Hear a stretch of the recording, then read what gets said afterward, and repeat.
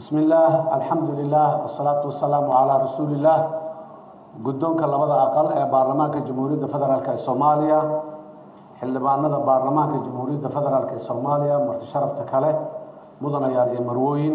Waxaan idinku salaamayaa salaamta islaamka. Assalaamu calaykum waraxmat ullaahi wabarakaatu haddii aan warbixin kooban idin siiyo walaalayaal isla markii aan xilka la wareegay waxaan la kowsaday laba xaaladood oo kala kala daran labaduba. Abaaro saameeyey in ka badan toddoba milyan oo qof iyo khawaarijta oo sii kordhiyey culayska ay ku hayeen shacabkeenna taagta daran. Waxaan qaaday tallaabooyin aan u arkayay markaas in ay lagama maarmaan u yihiin ugogol xaarista hannaan wax looga qaban karo dhibaatooyinka shacabka soomaaliyeed ragaadiyey maadaama xalku xalka dhibaatooyinkaasi uu ku jiro soomaali heshiis ah ayaan annaga oo ka duulayna yoolkaas baaxadda leh sida ku cad barnaamijka xukuumadda. Dowladdeennu waxay xoogga isugu geysay hiigsiyada soo socda. Kow soomaaliya sharcigu sarreeyo. Labo soomaali heshiis ah. Saddex soomaali dunida heshiis la ah afar soomaali isku filan iyadu.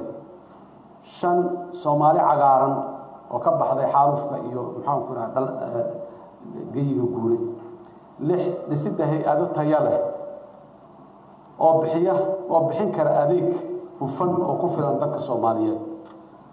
Mudanayaal iyo marwooyin waxaan bogaadinayaa howlihii uu soo qabtay baarlamaanka federaalka jamhuuriyadda soomaaliya kalfadigiisii koowaad oo ay ugu horeysay doorashooyinkii guddoonka madaxweynaha iyo kalsoorisiintii ra'iisul wasaaraha iyo xukuumadda. Sidoo kale inaad dhisateen guddiyadii joogtada ahaa iyo xubnihii idinku mateli lahaa baarlamaanada caalamka. Waxaan sidoo kale bogaadinayaa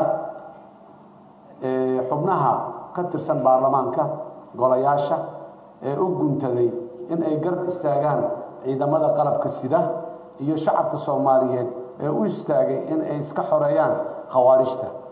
Waxaan shacabka soomaaliyeed hormuud uga noqoteen macnaha dhabta ah ee matalaadda shacabku ay tahay ama ay leedahay. Maanta dalkeenna iyo dadkeennuba waxay ku sugan yihiin meel aan ka noqosho lahayn meel guuldarradu aanay boos ku lahayn boos uga bannaanayn guuldarro waxaan go'aansannay inaan u guntanno dagaalka dalka looga sifaynaya khawaarijta. Waxaan soo waayay ka madaxweyne ahaan jid aan ahayn inaan difaacno karaamadeenna islaamnimadeenna iyo qarannimadeenna dalka iyo dadkuba waxay inooga baahan yihiin xilgudasho dhammaystiran oo ah in aan dhinac uga soo wada jeesanno halka cadow ee soomaaliyada maanta ay leedahay. Waa inaan isku garab siino shacab iyo dowladba sidii aan dalka oo dhan uga xoreyn lahayn halkaas cadow ee maanta aan leenahay. Dib xoreynta dalka oo dhan waa waddada keliya ee aan ku xaqiijin karno bismi illaahi wakafaa salaamullaahi calaykum mudanayaal iyo marweyn dacalada adduunka. Meel walbo aad ka joogtaan ku soo dhowaada warbaahintiinii ku bahawday southern media corporation oo loo soo gaabiyay s m c. Waxaan isdultaag mudanayaal iyo marweyn aanu ku samaynaynaa. Laxan aan saari doonnaa. Khudbaddii madaxweynaha jamhuuriyadda federaalka soomaaliyeed mudane xasan sheekh maxamuud uu ka jeediyey baarlamanka federaalka soomaaliyeed. Maanta oo ay tahay shan iyo tobanka bisha koob iyo tobnaad labada kun labayo labaatanka aad baan u fiirin doonaa khudbaddaasi iyadaan ku warwareegi doonnaa maxaa ka run ah siyaasiyan maxaa ka been ah intaasi waan eegi doonaa laakiin wararka kooban haddii aan u galno waxaan rabnaa inaan sheegno laba qodob oo khatar ku ah shacabka soomaaliyeed. Marka ugu horeysa ururka al-shabaab tagtiigii way bedeleen dhaqaalaha koontooyinka ama akaawnadii ay lahaayeen oo dhan farsamo kaley keeneen oy u bedeleen farsamadaasna waxaa wakiil uga ah mahad salaad oo ah taliyaha nisa. Akownada in ay ka furtaan magaca dowladda ayay hadda u wareejiyeen. Tusaale inay isticmaalaan magacyada wasiirada.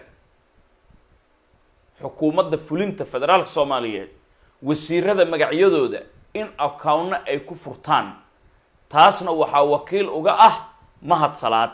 Qodobkaas isaga ah halkaasi ayaan ku daynayaa xaqiiqadiisi. Sidoo kale magaalada muqdisho suuqyada waaweyn in ay gubaan ayay qorshaysteen xukuumadda damuuljadiid. Suuqyada bartilmaameedka inay gubaan waa suuqa bakaaraha suuqa suuq bacaad suuqa xamarweyne ku yaalla iyo kan suuq boocle ku yaalla. Sababta loo gubaaya maxay tahay suuqyadaasi yaana wakiilka ah suuqyadaasi waxaa wakiilka ah gubitaankooda mahad salaad. Sababta loo gubaayana waxaa weeye dowladdii dhaqaalay weyday. Madaxweynaha afkiisuu kaaga sheegaya si dhaqaalo loo helo daraaddeed ayaa suuqyadaasi loo gubayaa. Beledka waa lays cunayaa beese ma taallo. See laakiin suuq haddii la gubo lacag loo heli karaa. Su'aashaasaa is weydiinaysaa guddi aan dhisaynaa guddiga ayaan dhisaynaa taakulada iyo gurmadka waxaan u malaynayaa wax waa kuu sheegay goormee la gubaayaa sec few daysa u qorshaysan ma ahan mustaqbal fog haddii afkeenna ilaahay uusan ku badbaadin waa laga yaabaa hadda afkeenna ilaahay inuu nagu furanayo dadka masaakiinta ah la rabo suuqooda in la gubo weliba taasi waxaa garab tiilay warqadda argagixisa la dirirka. Ayaa aadan madoobe loo geeyey. Warqaddaasi ujeedkeedu wuxuu ahaa haddii baarlamaanka uu baasgareeyo xasan inuu kuu yimaado dad uu kuu soo diro. Adoo gurigaaga jooga inay ku dhahaan gurigan saaxib nagu wareeji ka bax. Waa diiday bab al-shabaabaa tahay. Warqadna lagu kor saaro. Maxkamad ka hadli kartaana aanay jirin. Sharcigaasi argagixisa la dirirka ah sharciyo dhowraa lagu daray baarlamanka loo dhiibi rabay. Laakiin aadan madoobe sharcigaas sharciga ay aadka u dan kaasuu ahaa kiina wuu fashilan yahay. Weliba taasaa ka darnaan lahayd. Suuqyada mid ka mid a xataa haddii la gubo waxaa la dhihi rabaa haddana kaaga sii daran makriga ay dhigeen aan kuu sheega damujudiid islaan buush shaah ku karisa oo shaahley ah. Buush shaah ku karisa oo shaahley ah koronto ka dhalatay ayaa dabkan uu ka dhashay. Saasay soo wadaan. Hadhow idaacadaha shacabka saasay u sheegi rabaan. Soomaaliyay ogaada nimankaa damalqushaasha ama beensada ama rumaysta. Laba bil hadda kadiba ma ahan sida ay qorsheeyeen maamulka allah wata. Bil hadda kadiba ma ahan waxay rabaan maalmo gudahooda inay fuliyaan. Aniga that day kuma dhihi karo haddii m wixii aan fashilayna fashilinayna waxaa laga yaabaa inay gadaal u degaan. Laakiin qorshahoodu waa sidaasi damuljadiid qodobkaa isaga ah waxaan rabaa inaan ka gudbo. Afartaasi suuqa ugu weyn. Waxaa ku lamaanan madax jebinta in la saa-idiyo. Xanuunsadaan dadku. Dadku inay xanuunsadaan dad badan la laayo bastooladlayaasha ay dad badan laayaanna waa la soo dhejiyey waxay darnaan lahayd weliba marka sharciga argixisa la dirirka meesha la soo dhigo.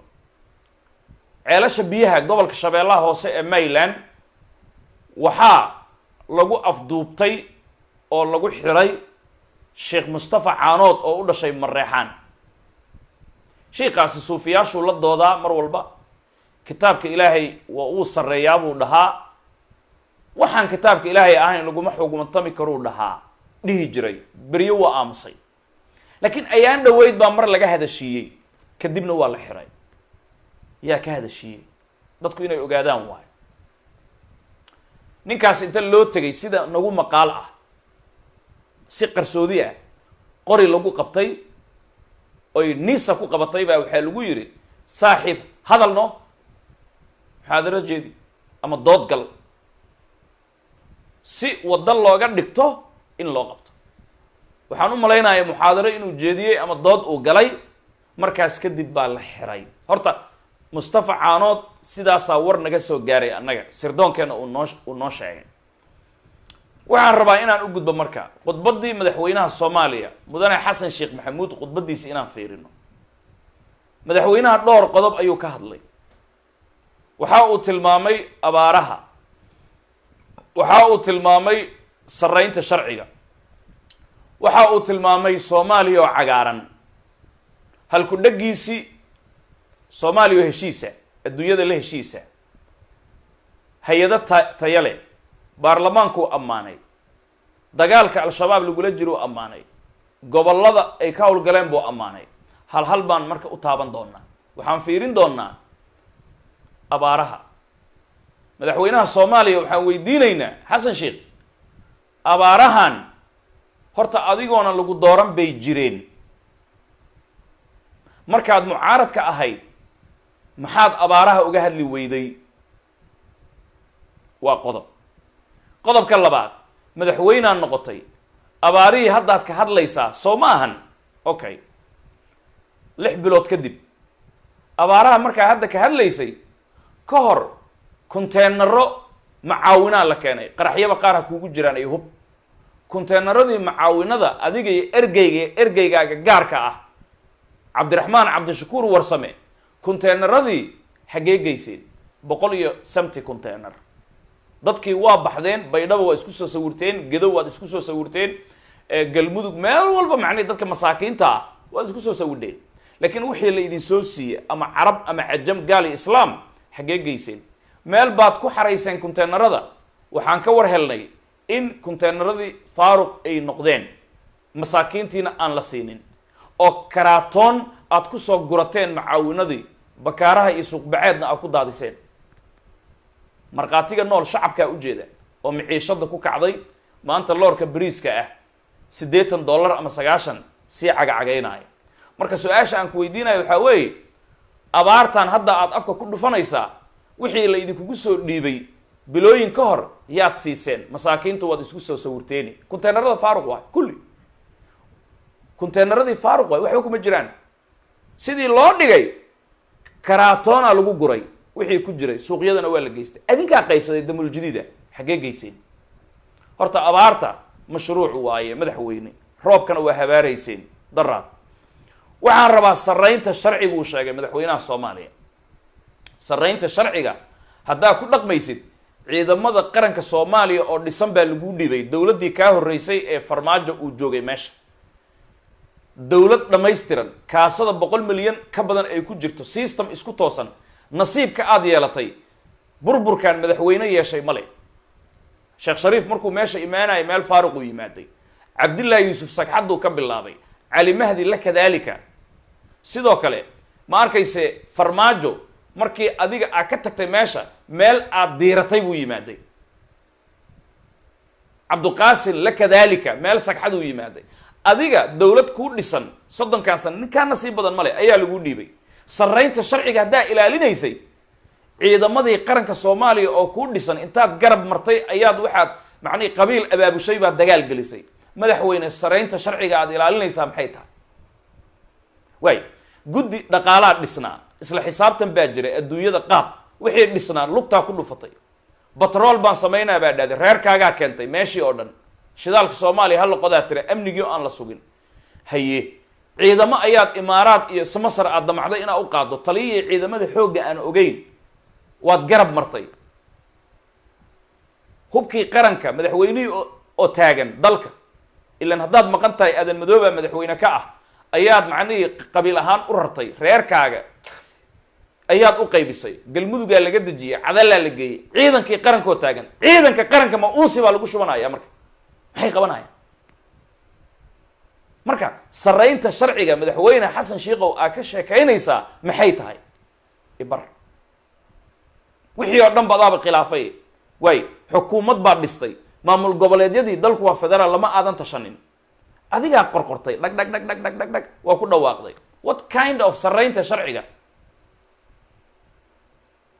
qodobkaasi saraynta sharciga waanu ka gudbaynaa isagana madaxweynaha soomaaliya wuxuu yidhi soomaaliya oo heshiisa oo adduunka loo la heshiisaan rabnaa. Madaxweyne halku dheggaasi adigu ma ka macsiyaysataa? Goormee kuugu dambeysay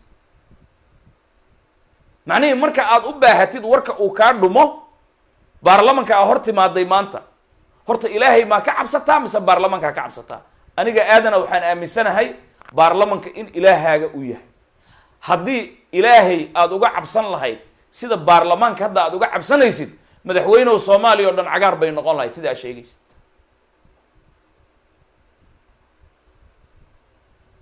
Madaxweyne soomaaliya cagaar bay ahaan lahayd. Ilaahay baa na dilaaya waaye marka maxaa noogu sheekaysay marka?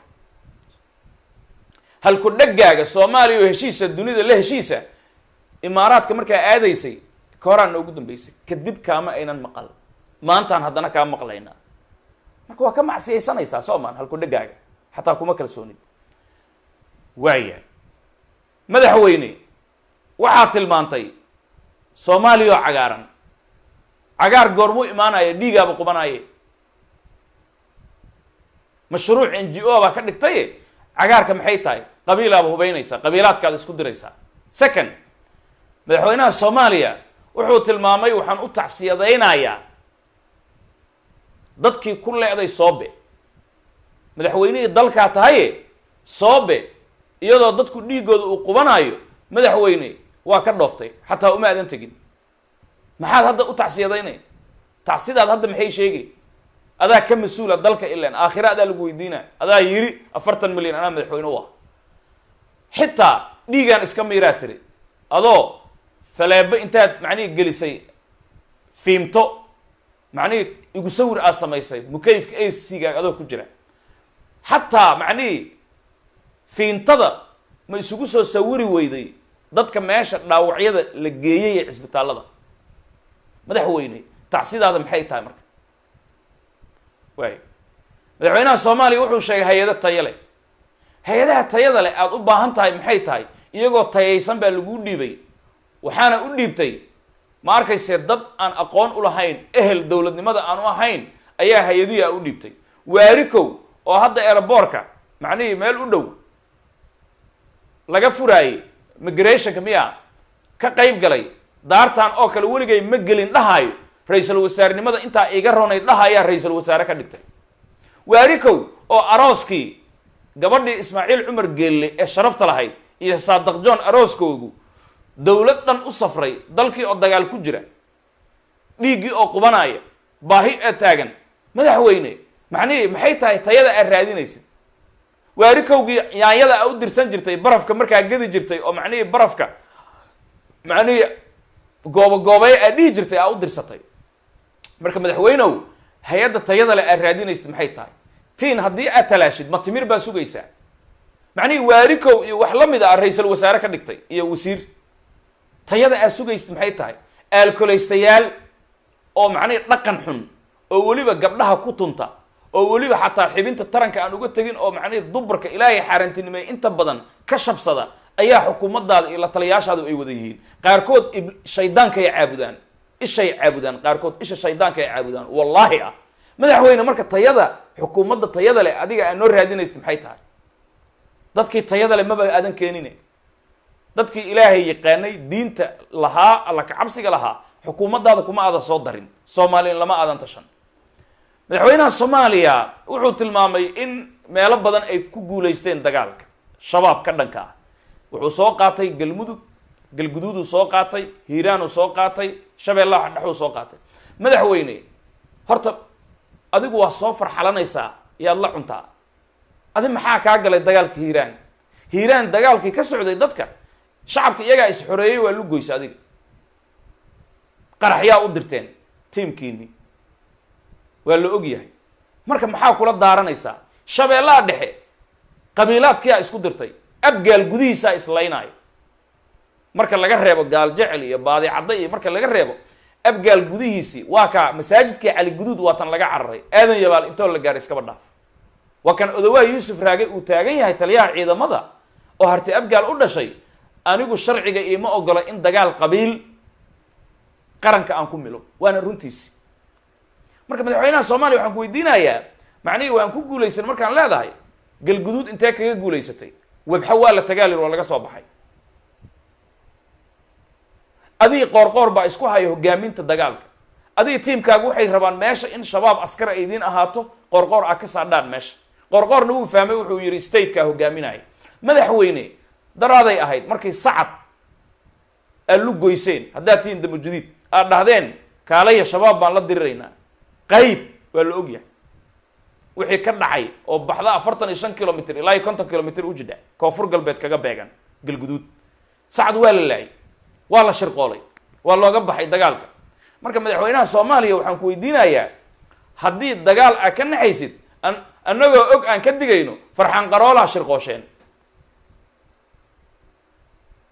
dadkii shabaabka soo afjari jiray hoteelada u geli jiray baabi'in jiray iyo saraakiil ku-xigeenadii basra ayaad ku shirqoosheen basradii intaasi saraakiil aa ku disheen maanta annagaa haysana xataa nama dhigi kartaan. Idinkii shabaab ma kala baxsanabe. Xataa ma magaca dawladeed kuma sheegan kartaan. Marka waan ku guulaysanay macnihii qayba ka mid a gobollada maxay tahay midda kale waxaad ka booday mayland mayland adoon lagu dooran bay shabaab la dagaalamaysay maxaad u soo magac qaadi weyday mayland been baa sheegaysaa madaxweyne xasan buraalow. Run baan laguu sheegin. Waa yahay. Waxaan doonayaa madaxweynaha soomaaliya. Wuxuu yidhi anigu markaan soo wareegay oo soo waabatiriyey wax waa soo waayay waa soo yaabay ka dhigan tahay. Baarlamankii soomaaliya hortiisa aad waxaad ku leedahay anigu wax waa soo waayey soomaaliyey diin iyo caqli hadda aan wax qabsanno madaxweyneho adaa lagaa waayay. Lix bilood ka hor markii lagu dooranayay adaa lagaa waayay. Adaa booday gurigaaga diyaarad ka dhigtay cirka iyo dhulka inta udhaxaysa ayaad hoy ka dhigatay. Habeen iyo maalin wuu wuu wuu waaba yaabnayba annaga yaa duuli gaarnaybe dunidii yaa yaabtay. Waayo farmaajo intuu joogay keligii taliyaha mareexaan konton iyo laba qaraxaa ka dhacday soomaaliya. Shan sano oo kaamila. Iyo hodhadho adiga lix biloodaa joogtaa afartan iyo dhowr qaraxaad maraysaa madaxweyne seed amni u sheegan kartaa marka. Waa kuu tirinayna annaga. Macnihii afartan iyo kow qarax afartan iyo laba qarax ay ku socotaa. Shan bilood lix bilood gudahooda farmaajona shan sano waxa weeye konton iyo laba qarax waay. Ka badan lagama keeni karo soomaaliya. Su'aalaan ku weydiinaa marka. Haddii hadda adoo lix bilood maraaya afartan iyo dhowr qarax aa maraysid haddii afar sanoo dambe aa nala sii joogtid ama saddex sano iyo barbadhe madaxweyne imise qarax baan kaa filan karnaa? Ilan waxaa weeye macnihii ratiga hore ratiga dambe macnihi saanqa ratiga dambe ratiga hore uu saanqaadkiisa leeyahay. Like son like father. Like father like son. Marka imisaan sugi karnaa lix bilood hadda kadib macnihii saddex sano iyo bar hadda kadiba imise qarax baan filan karnaa haddaan ku dhufanno lix bilood afartan iyo dhowr qarax.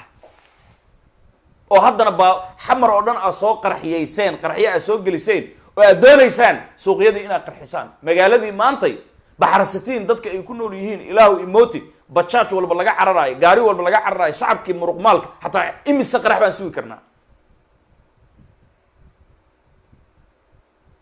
Waay madaxweynaha soomaaliya wuxuu taabtay uu yidhi baarlamaanka soomaaliya oo ammaan baad leedihin madaxweyne baarlamaanka shalay inaad xirtaan rabtay. Xalay ahayd habeen horey ahayd ha la ii xiro lix bilood ugu yaraanaa lahayd inaad laysaa rabtay goormay sharaf yeeleen dad dil aada u qortay madaxweyne. To be honest macnihii baarlamaanka hadda may macaadeen walaalay la ima heli karo walaalow la ima heli karo. La ima heli karo walaalay la ima heli karee aniga qaali baarlamaanka hadda muu macaaday markii aadan madoobe uu ku adkaystay waa la furayaa hadda muu macaanaaday madaxweyne baarlamaanka midda kale madaxweynaha soomaaliya maantay waxaa ka muuqday isballaatirayn hashkadayn tartarid. Ma been baa sheegaya madaxweynaha xataa wuxuu ku kalsoonaan waayey khudbaddiisii. Hareeraha damulqushaashkii fadhiyey ayuu ka shila ka shidaal qaadanayay marka madaxweyne nin isku kalsoon oo isku filan ma tihid waxaa tahay qof remotka loo haayo sidaas dheh isha lagala hadlaayo. Naaga waxaa jira nimanka isha naaga nimanka ka adagaa jira oo isha ay ka canaantaan. Haddaa saas yeelin. Hadda ma fahmaysaa? Marka waxaan ula jeedaa madaxweynow nin isha laga canaananayaa tahay. Saas yeel camal. Marka baarlamankii aada laynta ugu tala gashay inaad xidho ma shaqaynayo aad tiri oo brobagandada macnihii kaniisnimay ansixin rabaan maca guddoomiyahooda aada brobaganda ku furtay. Oo aa wasaqaynaysay waxaasoo dhan siyaasad inaan la ogaaye madaxweyne sideed hadda u ammaantaa. Waay madaxweynaha soomaaliya marka waxaan ka baranay habaa-an manhuuran waxba ma haayo. Annaga marka life waxaan idinkugu sheegaynay banaanka markuu aaday xasan sheekh meel walba fashilka ka soo gaaray baan sheegaynay. Wuxuu weydiistay baan sheegaynay. Madaxweynaha meeshaas ciidanka waa loo soo diiday eritrea. Imaaraadka way soo dharbaaxeen. America beeso waa loo diiday. Wax yaroo saabuuna marka laga reebo. Wax walba waa sheegaynay. Masar iyadaaba gaajo ah. Haddaba ugu dambayntii marka xeerada salkeeda xasan sheekh intuu soo taabtay lix bilood kadib soomaaliyey waxaan idiin sheegaynay afkiisii ma ka leeyahay. Aniga markaan soo wareegay maanta ma yidhi soomaaliya inay iyada isu isku tashato oo wax qabsato mooyaane wax wax taraa waa waayey ma ku leeyahay. Shilin lama hayo. Maadaama waxba aan la haynin suuqyada in la gubo waayo marka. Haddii sharciga argixisa la dirirka loo helana waaba markay taajiraayeen damujadiid gabadhaasi dukaanka joogtaa way ku imaanayaan. Dukaankaaga boqol kun hadduu ku jiro lixdan kunna sii. Ma diiday haa bog al-shabaab waayo. Wayna kaa qaadanayaan. Haddii sharcigaas loogu darana wayba taajirayaanba. Nimankan dhiigga bani aadamka kama cabsadaan. Dhiigga bani aadamka sidii faanto la cabaya oo kale u dhammaan. Kursigana dhiig bay ku gaareen. Ha u malaynina. Adigu waxaa isweydiinaya sidee bani aadam loo dilaa? Sidee? Dadkan dad intaasi soo laayay. Ikraan taaliil jarjaray. Sidii jamaal khushuuqi bani aadamka dhiiggiisay cunaan. Waraabadadowna ka daran. Waraabadadow marka macnihii uu baahan yahay buu ku cunaa ama macnihii sunta juudaanta ay ku kacdo. Ugandaan tegay ugaali besaa la ii ku yiri wax kale ma hayo. Soomaaliyay hadda aan heshiino soomaaliya oo heshiisa adduunka la heshiisa. Weedhi uu ka macsiyeysanayay maanta inuu soo qaato maxaa keenay? Etoobiyana inaan isu dhiibaan rabaa masarna inaan la socdaan rabaa imaaraadna waan rabaa turkina waan rabaa. Hadda gabaraa laga diiday. Hooyoy aabbahayna ninkaygana waan rabaa hooyadayna waan rabaa macquul maahan ama gurigiina beriis ka cunaysaa ninkaagaa ka maarmaysaa. Ama ninkaaga gurigiisaa tegaysaa beriiska gurigiinaa ka samraysaa wuxuu qabaad la qabaysaa wax ka dhexeeyaa male marka madaxweynaha soomaaliya ereyga dadka ma fahmin soomaaliya oo heshiis oo adduunka la heshiisa oo bilooyin ka hor uu iska dhaafay sababta hadda u leeyahay baarlamaanka hortii waxaa weeye etoobiyana inaan qanciyaan rabaa. Masarna inaan la socdaan rabaa. Imaaraad inaan wataan rabaa. Turkina inaan wataan rabaa. Ma shaqaynayso marka qadarna wax ii taag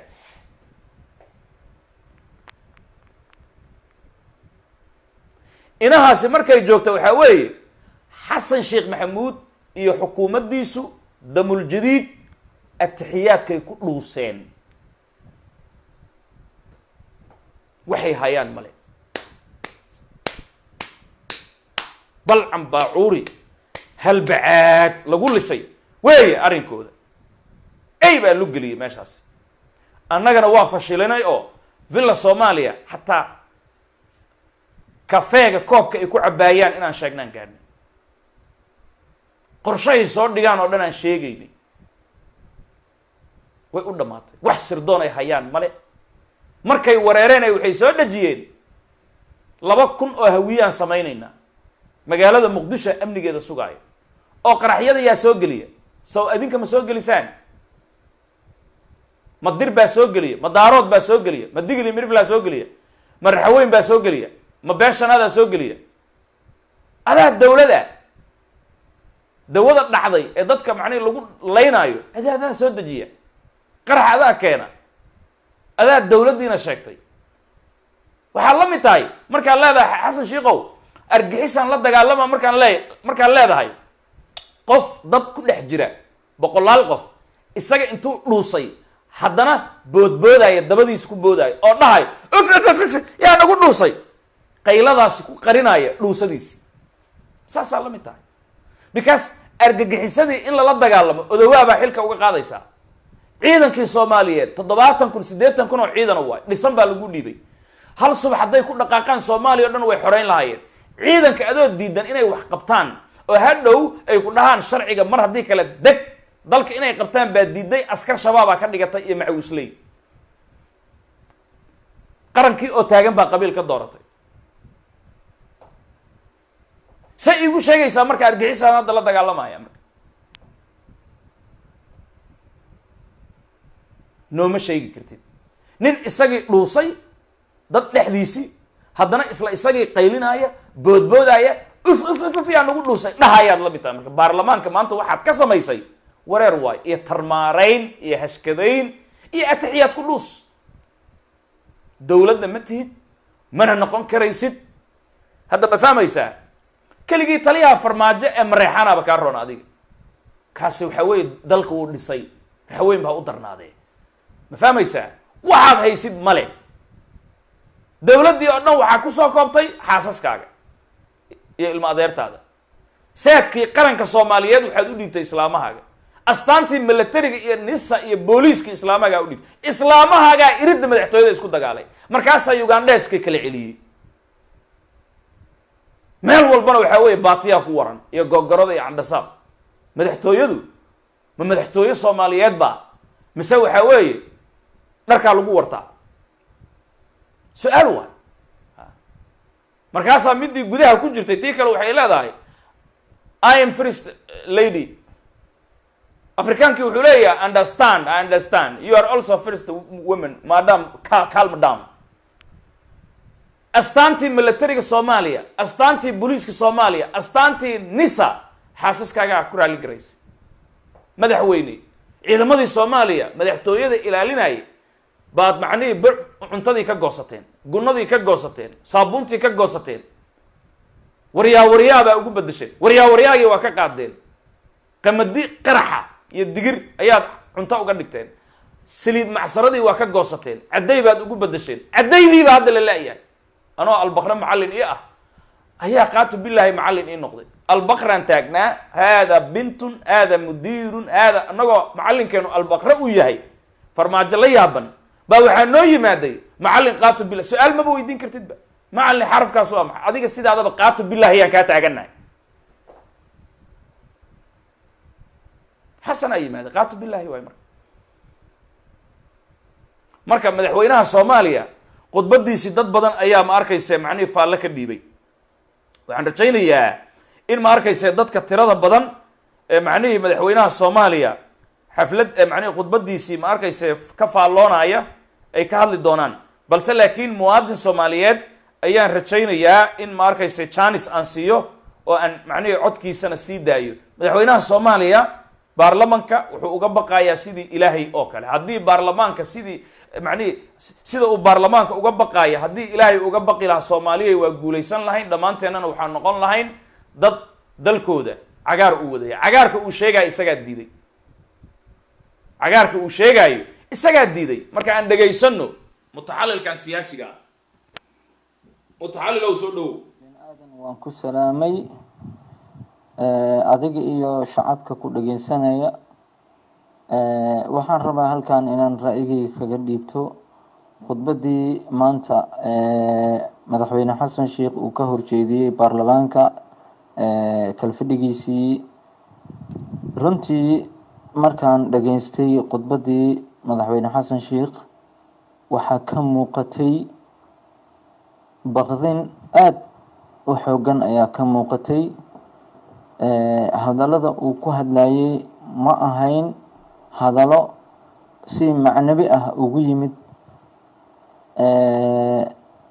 Mar walba khudbadiisa waxaa ka muuqatay in baarlamaanka uu ma aragtaa u baaqayay islamarkaana uu ka codsanayay in aan hadda waxyaabo motion iyo wax la mid ah aanan loo baahnayn oo ma aragtaa dalku ay ka socdaan howlgalo waxyaabahaas ayuu ma aragtaa isku qarinayay balse kalsooni badan kama muuqanin. Wuxuu og yahay xasan lixdii bilood la soo dhaafay in dalka iyo dadka soomaaliyeed uu qaladaad badan ka galay oo iyadoo dalka dagaal ka socdo ayuu ma aragtaa safar aanan muhiim u ahayn dalka iyo dadka soomaaliyeed uu uu ma aragtaa kharashaad badan ku baabi'inayay heshiisyo badan oo ma aragtaa dana gaar laga leeyahayna dalal gaar ah wuu la soo saxiixday.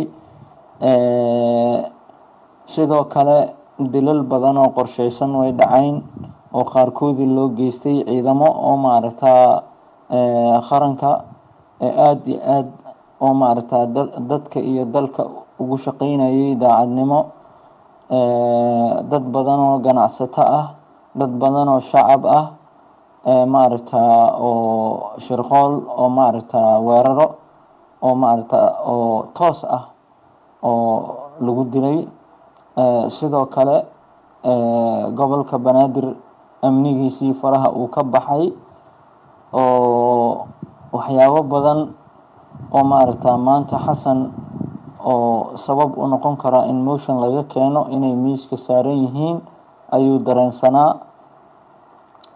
Sidaa darteed khudbadihii khudbadiisa inta badan calaan cal waxbaa ka muuqday iyo maaragtaa in baarlamaanka aysan hadda waxyaabahaasi aysan ku fikirin laakiin markaan fiiriyey muuqaal ahaan aadan madoobe kuma qanacsaneyn khudbadaha uu xasan sheekh jeedinayay baarlamaankana intiisa badan kuma aysan qanacsaneyn markii laga reebo kuwa xasan xiriir hoosaad ay leeyihiin waxaa horta hubaal ah in xasan motionkiisu uu la qaban doono oo islamarkaana ama ha ku guuleysto ama ha ku guul dareysto motion wuu imaanayaa sababtoo ah dalkii xaaladiisa ayaa maalinba maalinka dambe iskhatar sii gelaysa ciidamadii militariga kalsoonidoodii way luntay waata hadda taliyaha ciidanka xoogga dalka uu sheegay in militariga qaranka iyo qabiil aysan iska garab dagaalami karin oo maaragtaa loo baahan yahay in maaragtaa la kala jiheeyo. Xasanna hadda sida aan wada aragno beeshii asaga uu ka soo jeeday ayaa dalka dagaal sokeeye. Maaragtaa u horkacaysa. Waata shacab lagu laayay shabeelaha dhexe. Waxyaabahaas oo dhan waxyaabaha hadda baarlamaanka horyaalla ayay ka mid yihiin. Marka xasan qalqal badan ayaa ka muuqday khudbadiisa maamul goboleedyadana isagoo kalsooni badan aanan ka haysanin balse fadhiyada soo socda insha allah waxbaan waxaa la arki doonaa wixii markaa miiska ay soo saaraan.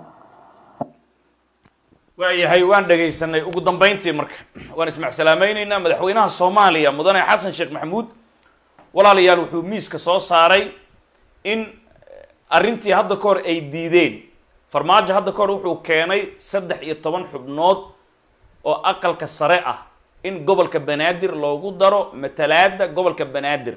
Meeqaamku ha dambeeye ilaan meeqaamku waa golo deegaan in la dhiso waa. Saddex iyo tobankaasi baarlamanku horgeeyay farmaajo. Sidii loo qeybsan lahaa waa lagu heshiiyey laakiin waktigaasi way diideen. Madaxweynaha soomaaliya xasan sheekh maxamuud iyo tiimkiisi oo mucaarad ahaa hadda wuxuu la soo shir tagay isla qodobkii farmaajo shalay uu keenay gobolka banaadir uu ugu hiilinayay. Kiyaan hadda rabaa uu yidhi inaan hirgeliyo. Coobi ma tahay mise maaha laakiin sidee buu rabaa xasan sheekh maxamuud? Wuxuu doonayaa in qodobkaasi saddex iyo tobanka xibnood sida xasan uu qortay waayo sideed ka mid a hawiye ay qaataan.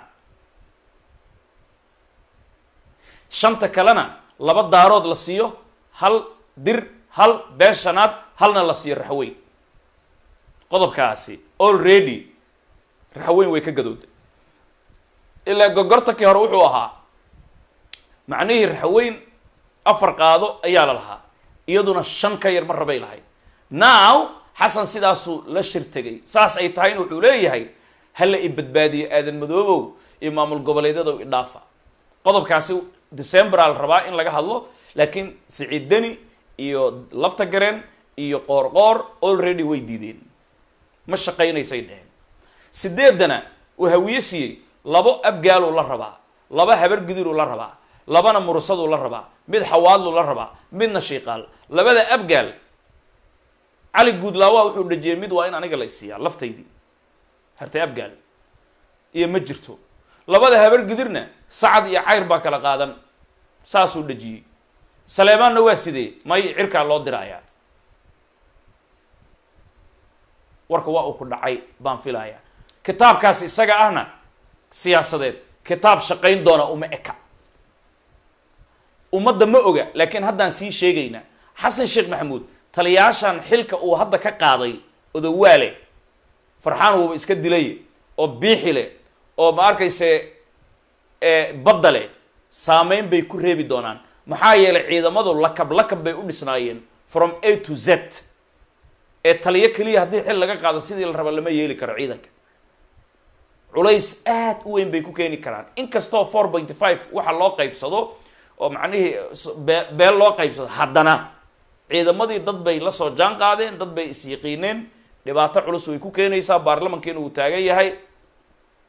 Waaw inuu dhahno waa laga yaabaa. Warqadaasi wuxuu rabaa inuu tuuro markuu diyaaradda raacayo isagu si dhibba aan u gaarin. Isagoo maqan in waa kala bedelay uu yidhahdo bug ha tiraahday hadduu doonayo. Walaalayaal hees cusub oo qaran la yidhaahdo oo ma arkaysa macnihi annagu aan saameyn ku leenahay ayaa idinku soo maqan. Haddii ilaahay uu ka raali noqdo dhegaysi habboon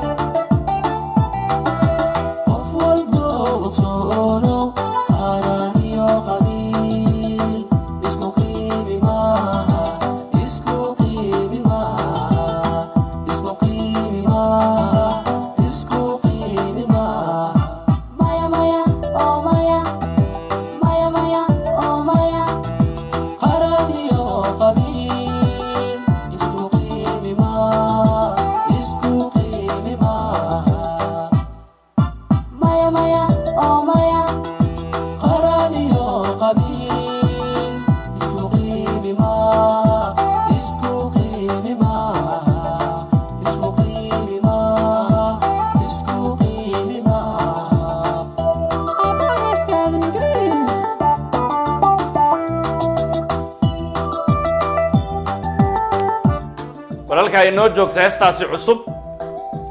Markii insha allah dib ayaan ka daawan doonaa dhammaanteed insha allah hadday soo baxday firdowsa